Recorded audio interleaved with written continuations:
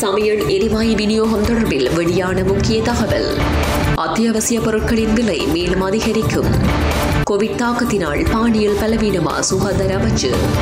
நாட்டின் பல்வேறு பகுதிகளில் இன்று பலத்த மழை வளிமண்டலவியல் திணைக்களம் எச்சரிக்கை. இலங்கை அரசுக்கு மற்றும் ஒரு பாரிய நெருக்கடி திண்டாட்டத்தில் நாட்டு மக்கள். ஸ்ரீலங்கா சுதந்திர கட்சி எடுத்துள்ள அதிரடி முடிவு. டீசல் மற்றும் பெட்ரோல் விலை குறித்து வெளியான அதிர்ச்சி தகவல்.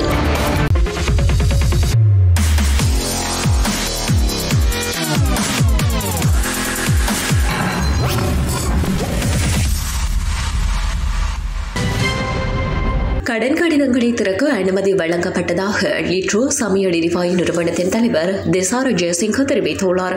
அதன்படி எரிவாயு தரையிறக்கம் மற்றும் விநியோகம் தொடரும் என அவர் மேலும் தெரிவித்துள்ளார். நேற்றிரவு இடம்பெற்ற கலந்துரையாடலின் பின்னர் கடன் பத்திரங்களை திறப்பது தொடர்பான பிரச்சினைக்கு தீர்வு காணப்பட்டதாக லிட்ரோ சமையல் எரிவாயு திணைக்களத்தின் தலைவர் திசார ஜெயசிங்க தெரிவித்துள்ளார்.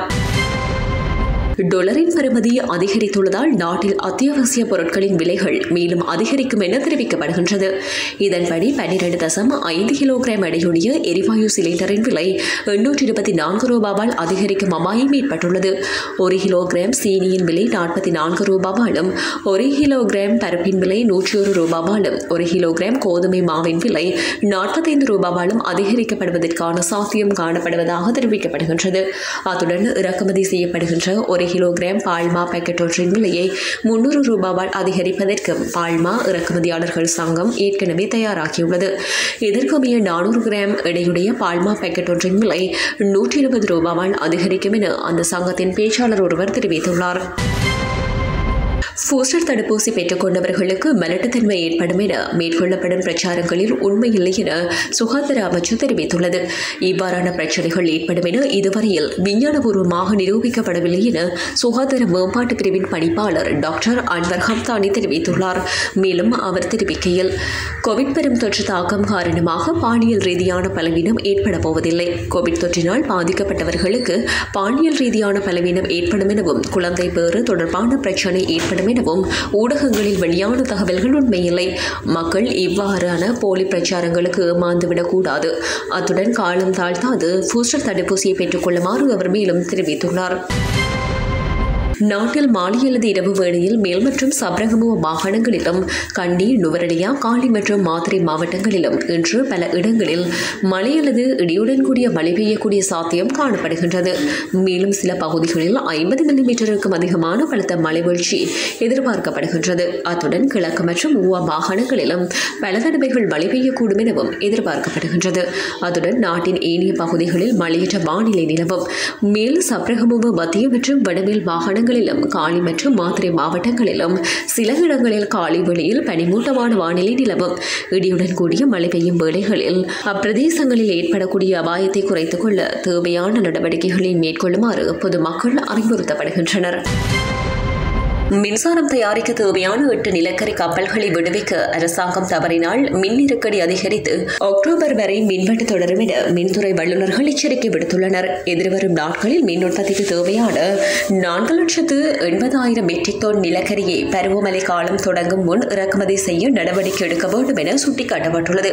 பருவமழை எதிர்வரும் தமிழ் சிங்கள புத்தாண்டு காலமாக எதிர்பார்க்கப்படுவதுடன் எதிர்வரும் செப்டம்பர் மூன்றாவது வாரம் வரை நீடிக்கும் எனவும் எதிர்பார்க்கப்படுகின்றது. இந்த பருவமழை காலகட்டத்தில் சீரற்ற காலநிலை காரணமாக நிலக்கரி கப்பல்களை நாட்டிற்குள் நுழைய அனுமதிக்கப்பட மாட்டாது எனவும் நிபுணர்கள் தெரிவிக்கின்றனர். இலங்கை மின்சார சபை மற்றும் அமைச்சர் அதிகாரிகளும் இந்த நிலைமையை முன்கூட்டியே அறிந்திருந்ததாகவும் இந்த பாரதூரமான நிலை குறித்து நிதியமைச்சு உள்ளிட்ட உரிய தரப்பினருக்கு அறிவித்துள்ளதாகவும் இலங்கை மின்சார சபையின் உள்ளக தகவல்கள் தெரிவிக்கின்றன.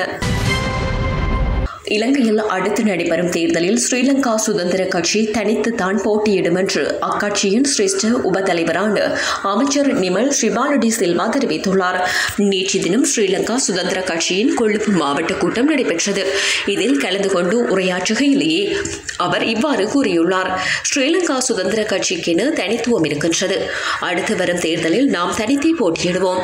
தேர்தலின் பின்னர் எமது கொள்கையை ஏற்பவர்களுடன் கூட்டணி அமைக்கலாம் என அவர் தெரிவித்துள்ளார். தெரிவித்துள்ளார் லங்கா ஐயூசி நிறுவனம் நள்ளிரவு முதல் நடைமுறைக்கு வரும் வகையில் டீசல் மற்றும் பெட்ரோல் விலைகளை அதிகரித்துள்ளது.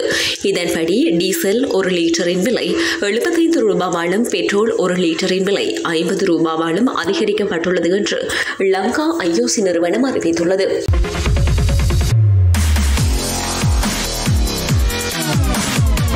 சமையல் எரிவாயு விநியோகம் தொடர்பில் வெளியான முக்கிய தகவல். அத்தியாவசிய பொருட்களின் விலை மேலும் அதிகரிக்கும். கோவிட் தாக்கத்தினால் பாணியில் பலவீனமா சுகாதார அமைச்சு. நாட்டின் பல்வேறு பகுதிகளில் இன்று பலத்த மழை வளிமண்டலவியல் திணைக்களம் எச்சரிக்கை.